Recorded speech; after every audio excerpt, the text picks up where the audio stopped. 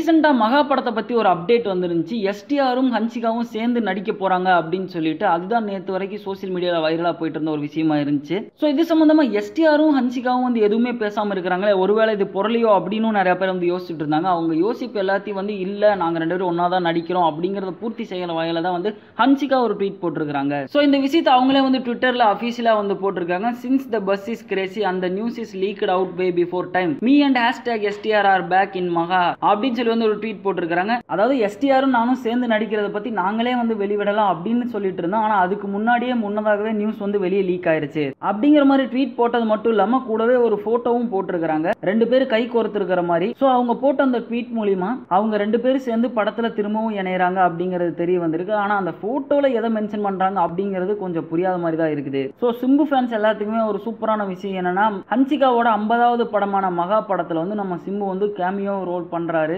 ரீசெண்டாக ninety ML படத்தில் கூட கிளைமேக்ஸில் வந்து பார்த்தீங்கன்னா ஒரு கேமியோ அப்பியரன்ஸ் வந்து கொடுத்துருப்பாரு. ஸோ அதே மாதிரி இந்த படத்துலையுமே வந்து கிளைமேக்ஸில் வராரா இல்லை படத்தோட இடையில வராரா எந்த இடத்துல வராரு அப்படிங்கிறது பொறுத்திருந்து படம் ரிலீஸ் ஆகும்போது தான் நம்மளுக்கே தெரிய வரும்.